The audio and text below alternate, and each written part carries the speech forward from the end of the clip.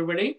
We are continuing our study in the book of Ezekiel. If you recollect, we have completed chapter 28, and today we are starting with chapter 29. Kindly turn with me to Ezekiel chapter 29. Let me read the first verse.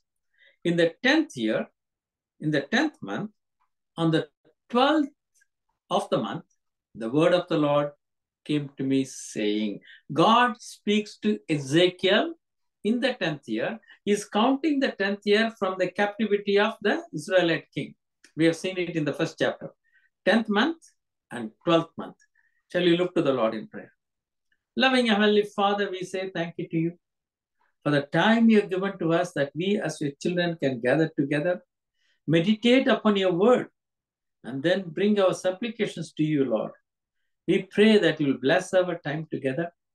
We pray, Lord, that you'll speak to us even as we look into Ezekiel chapter 29. We pray, Lord, that even as you are pronouncing judgments upon the nations surrounding Israel, we may understand who you are, the God Almighty, creator of heaven and earth, and what you require from humanity. To this end, Lord, open our understanding, guide us in the study of your word. Committing the study into your hands, we offer this prayer in Jesus' name. Amen. Now, we have been looking at Ezekiel, and Ezekiel has been pronouncing a lot of judgments against Judah, against Israel, against Jerusalem. They are the people of God. The promised land God gave to Abraham, the city of God, Jerusalem, he pronounced judgment on all of them. Then he moves on to the neighboring countries. He talked about Ammon, he talked about Moab, he talked about Edom, He talked about Tyre. He pronounced judgment upon all of them. So the idea is we need to understand why God is pronouncing judgment upon his own people as well as those who are not his people, whom we call as Gentiles, who don't believe in the Lord God. They are their own gods and idol worship. And today we are going to look at the judgment which God is pronouncing against Egypt. Now, pause for a moment. When we talk about Egypt, we need to understand certain things about Egypt. Sometimes it doesn't uh, come to our mind fully. Okay, that's how we are going to study in chapter 29. Now, as we study also, as usual, at the end of it, there will be some time. Kindly feel free to express your opinion. Because you may have some idea, some opinion, or some questions. There will be time for that before we go in for prayer. Having said that, Egypt, what comes to your mind when you think of Egypt? Tourists who go to Egypt even today, what are they looking for? The pyramids of Egypt. Have you ever considered how they were built? Limestone and granite stones, some of them weighing 40 tons. Is it possible to build a monument like that with modern equipment? How many countries in the world can afford to do that? Think about it. The Egyptians did it hundreds of years before Christ was born. That is the marvel of the Egyptian dynasty. You remember the pharaohs were there? And we see the Exodus, Moses meeting the pharaoh. Moses was brought up in one of those royal houses. And these Egyptians did it many, many years back. So technologically, politically, and scientifically, why I'm saying scientifically, if when you look at a pyramid, what marvels everybody's sides are equal. And the orientation is same. How do you do that? They are wondering. With what equipment they did it. So they were advanced very scientifically. And if you look at a pyramid, it's not the outer structure. Inside, there is a place for the pharaoh to live. They thought the pharaoh will be afterlife, after death. They thought pharaoh is living there. And they built it. Amazing. And they were able to put golden vessels inside the pyramid. And they were all stolen later on. Thieves went and stole it. think of all this. And the entrance was kept secret. And if you study that, that is a technology they had. And against that country, God is pronouncing his judgment. From a lofty level in which the Egypt was running, God points his finger at them. Because of all these things, I'm going to make you a low level kingdom. That's the first thing it says. Second thing is, if you look at his own children, Israelites, when they sinned, God said, I'm going to scatter you around the world. And the same God said, I will gather you back. He said it his own people. Apart from his own people, he says the same similar prophecy to the Egyptians. It's the only country, God says, I'm going to scatter you and I'm going to gather you back into your land. No other country has got that kind of a promise. Let's go dwell now into chapter 29. So the date is given. When you look into chapter 29, Ezekiel talks verse 1 to verse 16 in this particular date given in verse 1. Verse 17 onwards, there's a different date.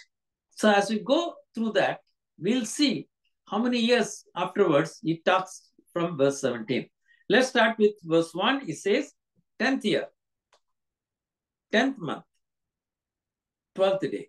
10th year, 10th month, 12th day. That's the starting point. Verse 2. Shall we read verse 2, please?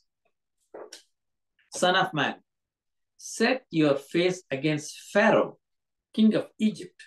Prophesy against him, against all Egypt. Now, God understand how Egypt was ruled. Egypt was ruled by a Pharaoh.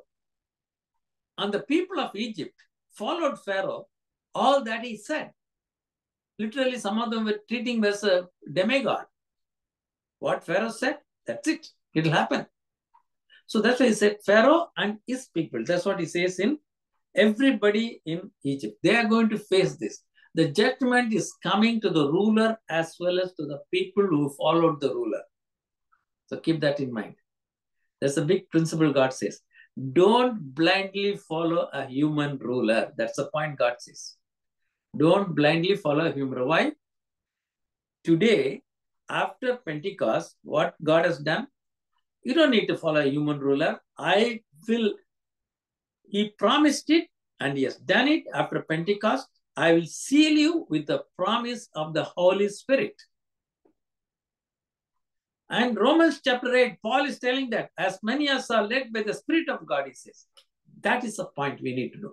God has got a direct touch with every one of his people. That is what God had in mind for humanity, even when he created the man and woman in the Garden of Eden. But over time, everything changed. They wanted kings, they wanted this political system, that political system. They went for idol worship. But God is bringing everything back to his own plan after Pentecost. Let's go on. Chapter 29 and verse 3. Let's read verse 3.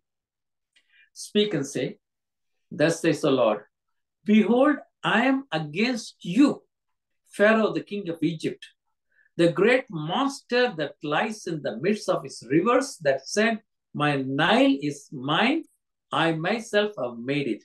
Now, what is God telling? The pharaohs, you know, they were having the river Nile. No problem of water.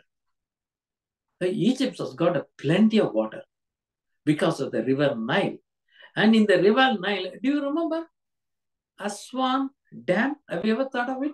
Aswan Dam. So when I was in the school and colleges, the Russians were building the Aswan Dam. And if you if you realize that all these things, Aswan Dam is a great dam, and they they, they had it is cutting across uh, River Nile, and it's it's such a big dam, you know, and that dam is created a lake, which was already a natural lake.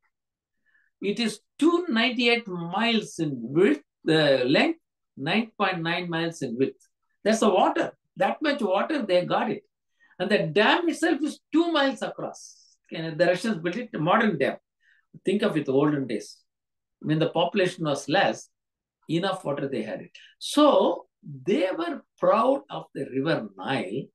And to that extent, Pharaoh says, the river is my own. And he went on to say that because they, they looked at Pharaoh as a god, I made it. He said, I made it. It belongs to me. Now, another thing is, the river Nile has got the river creatures. The one strongest creature in the rivers, apart from any fishes, is crocodile. So the crocodile was so strong, man cannot fight. The Egyptians could not fight the crocodile. So the Pharaoh used to compare himself, hey, look, I'm a crocodile. I'll just swallow anybody. So that is what he says here. It's the great monster that lies in the river. You call yourself a great monster like the crocodile? Look, I'm the creator. I'll tell you what I'm going to do with you. Let's go on to verse 4. I will put hooks in your jaws. Make the fish of your rivers to cling to your scales. I will bring you up out of the midst of the rivers, and all the fish of your rivers will cling to your scale. He's talking about a crocodile. He said, I'm going to put a hook in your mouth, fully out to the land. As you come out to the land, the fish will stick to your scale. In other words, what God says is, Pharaoh and the population of Egypt. He's referring to the population as the fish. That's all. So I'm going to handle Pharaoh and all those who follow Pharaoh, many of them considering him to be sort of a demigod. So whatever he says will happen. I'm going to deal with them. Let's move on to verse 5. I will abandon you to the wilderness, you and all the fish of your rivers, you will fall on the open field. You will not be brought together or gathered. I have given you food to be the beast of the earth and birds of the sky. What he says is, Egypt, you must see the Egyptian kingdom under the pharaohs when they were building the pyramids one after another, it was at the zenith. A kingdom which nobody can fight with or conquer. They were ruling the Egyptian kingdom. God says, I'm going to bring you down. And you'll be thrown on an open field. You will be food for the beast. The other kingdoms will come, encroach you, and take your wealth. God pronounced it. It did happen historically. Let's move on to verse 6, please.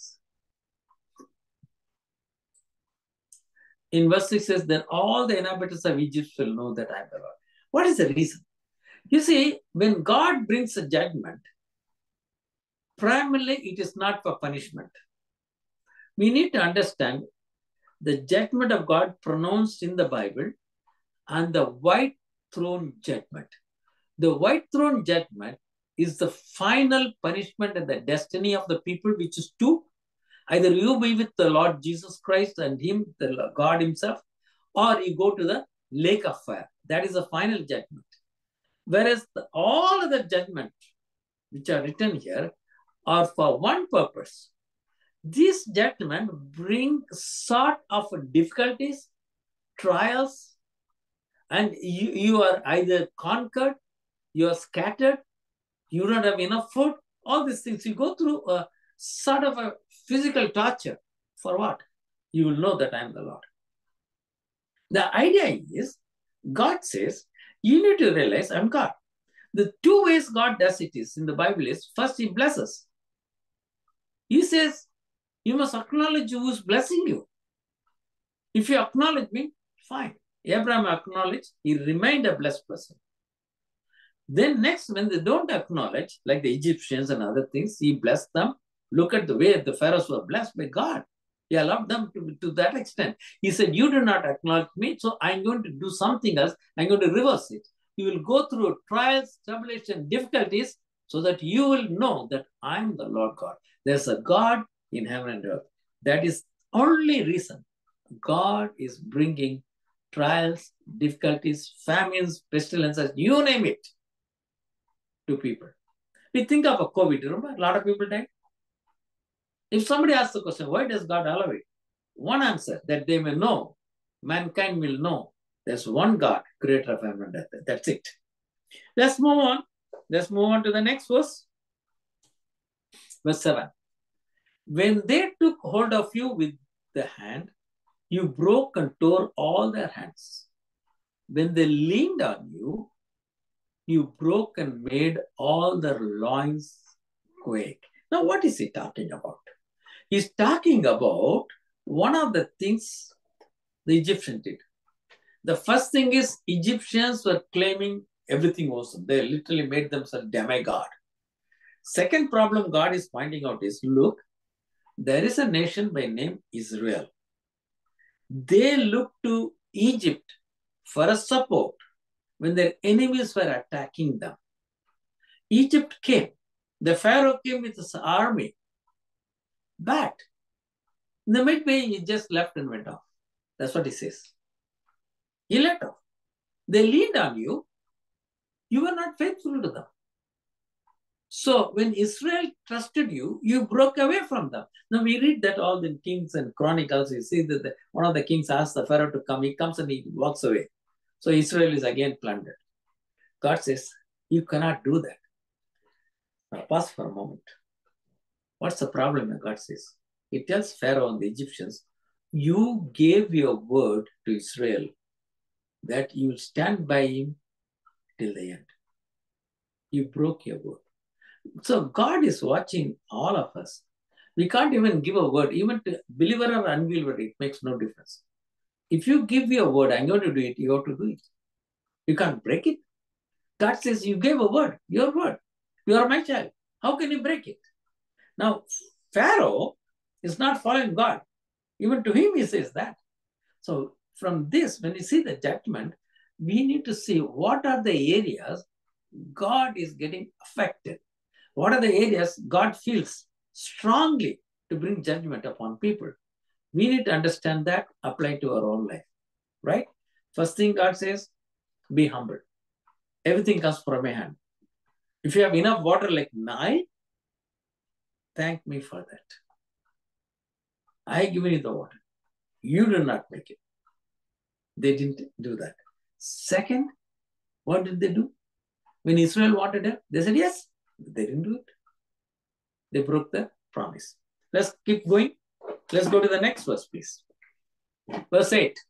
Therefore, thus says the Lord, I will bring upon you a sword.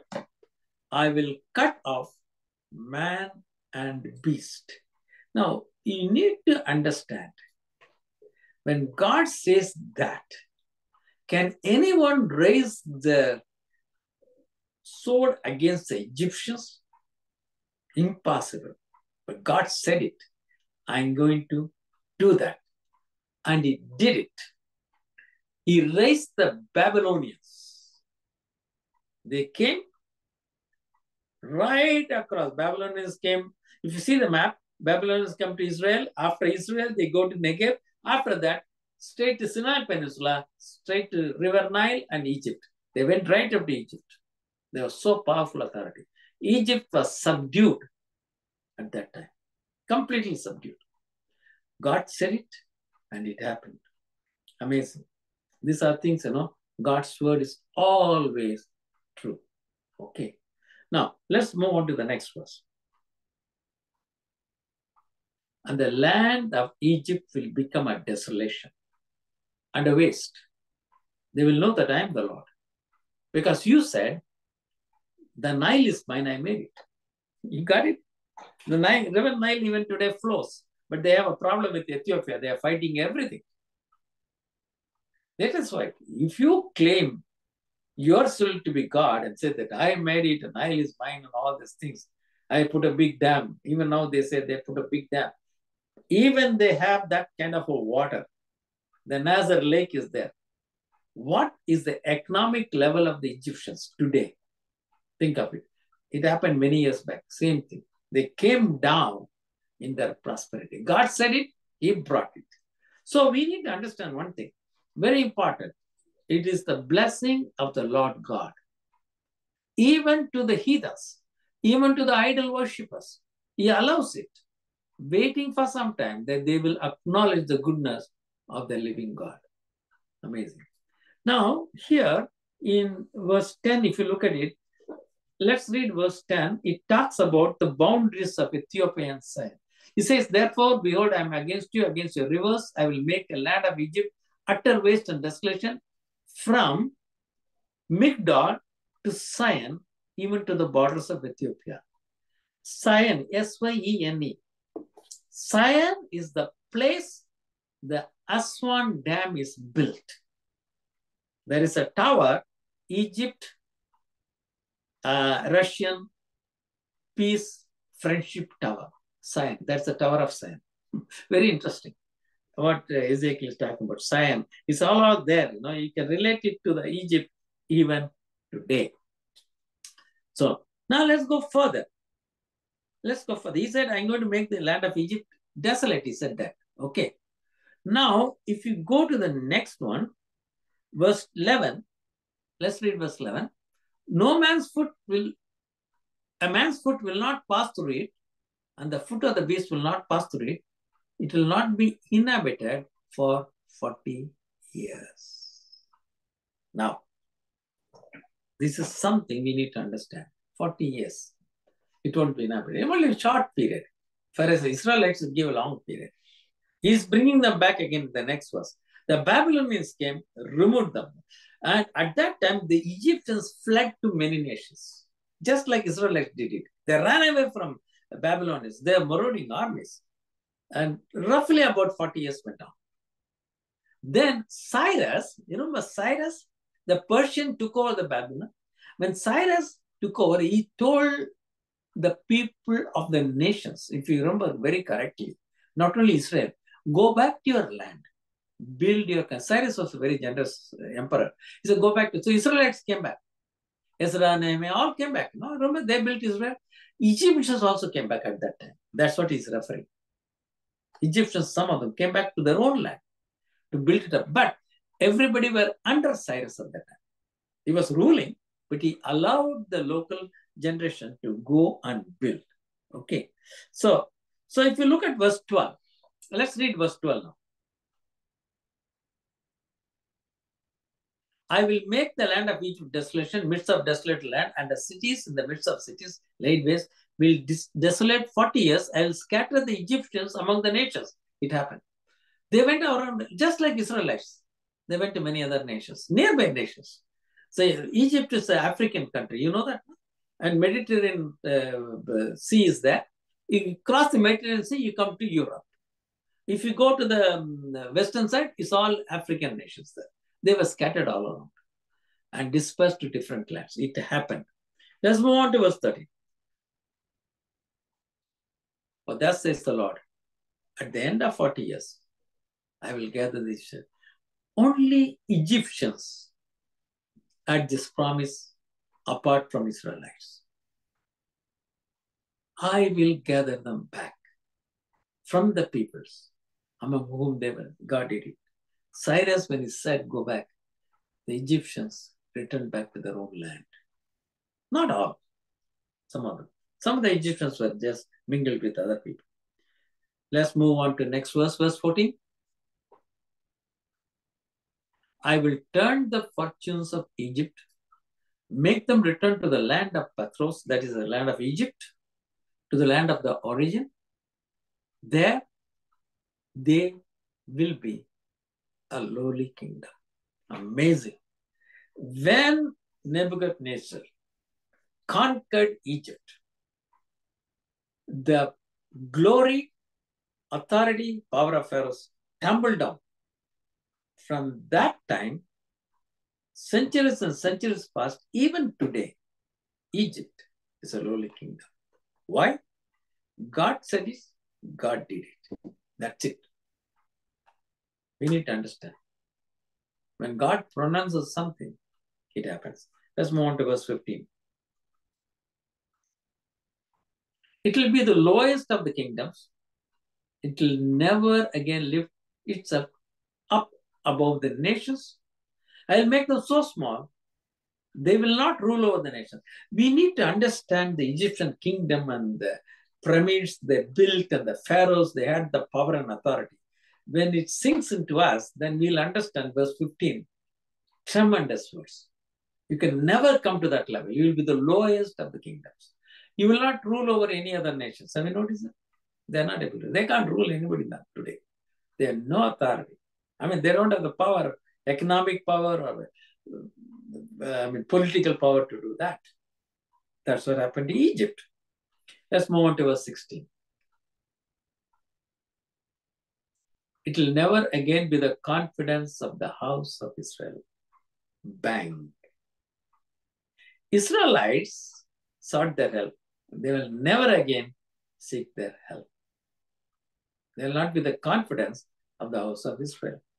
Bringing to mind the iniquity of their having turned to Egypt, then they will know I am the Lord. Now, something we need to understand about Egypt. Keep in mind. Today, Israel and Egypt has a peace treaty. Have you noticed that? Number one. Second, if you see the end times, Gog and Magog, Libya, Turkey, all are involved. Look for Egypt. You won't find the name Egypt there. Amazing. Egyptians enslaved the Israelites. They were a mighty kingdom. They came down. But, but, they are not in that end time group which is going against Israel, where Christ himself will come and fight. And that is very true.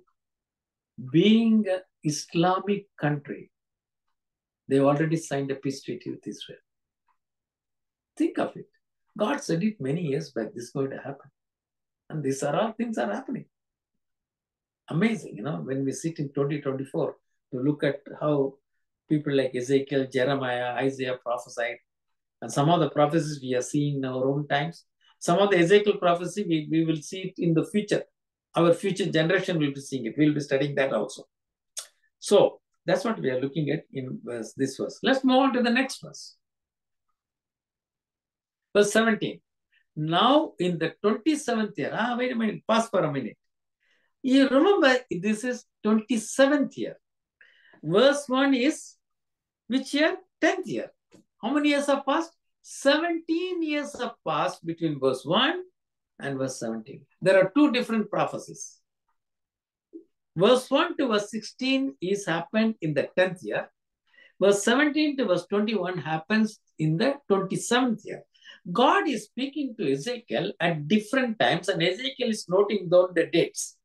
Now, if we come from chapter 1, if you note the dates in which God speaks, Ezekiel is not combining his prophetical book in a sequence according to the dates. No, he didn't do that. He didn't do that. How he has done it is this. He takes topic by topic. Okay, he told me about Israel, he'll combine all of them. Told me about um, uh, Tyre, I'll combine all of them. So some of the prophecies which are told later were written in the initial books and some of them told earlier were written this way. So he has made it so convenient for us, the readers, that when he talks about Egypt, we'll talk all the Egyptian prophecies together. That is why in chapter 29, two prophecies are combined together because this is for Egypt. So we need to understand that. So it's not sequence, but there is 17 years of past. After 17 years, God is again talking about Egypt.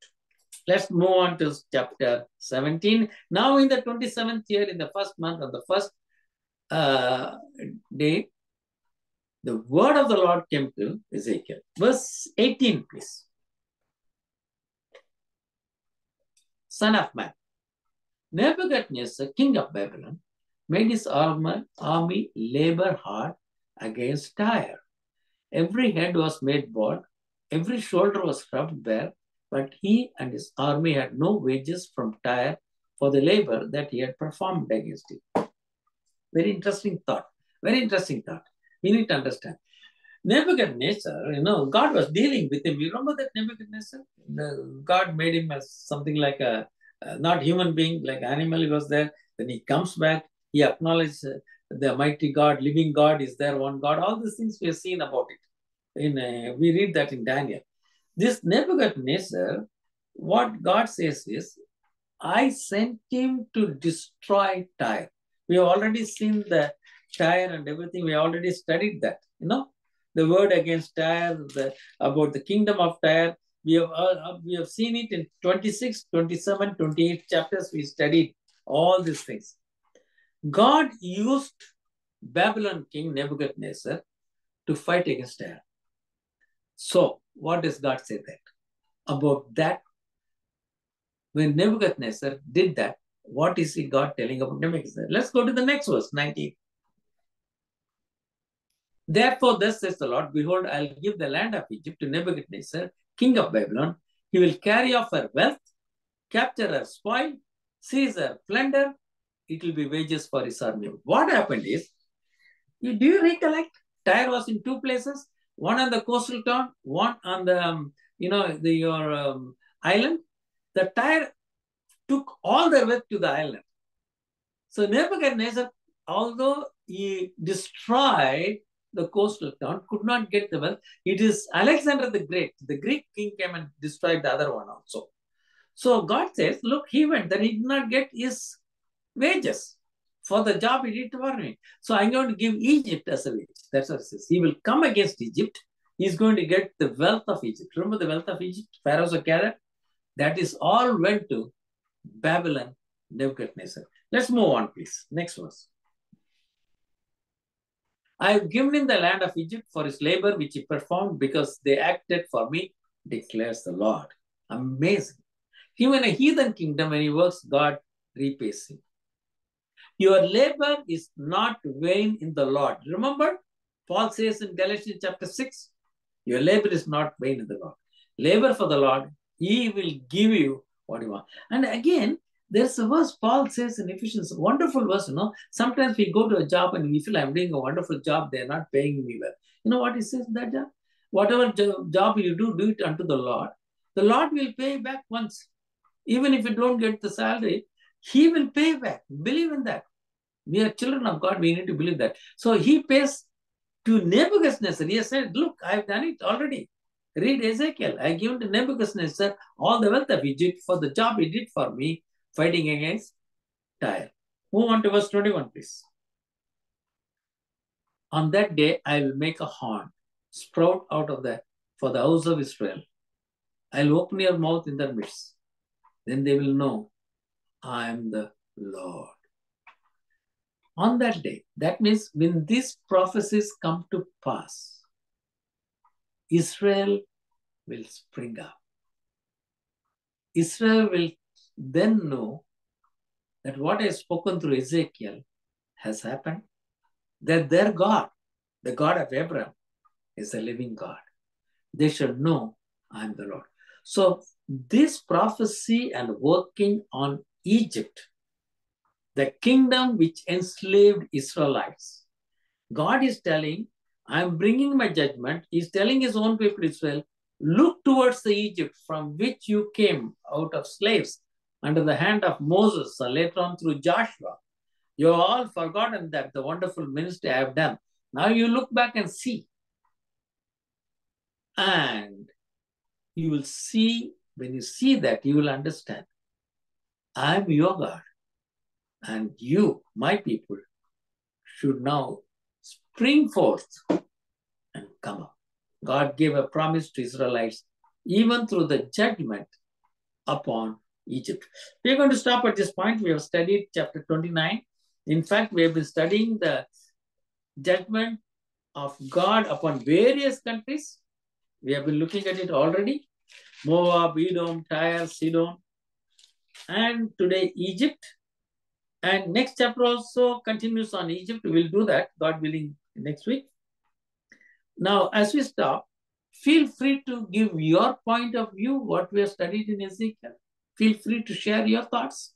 Good to know your mind.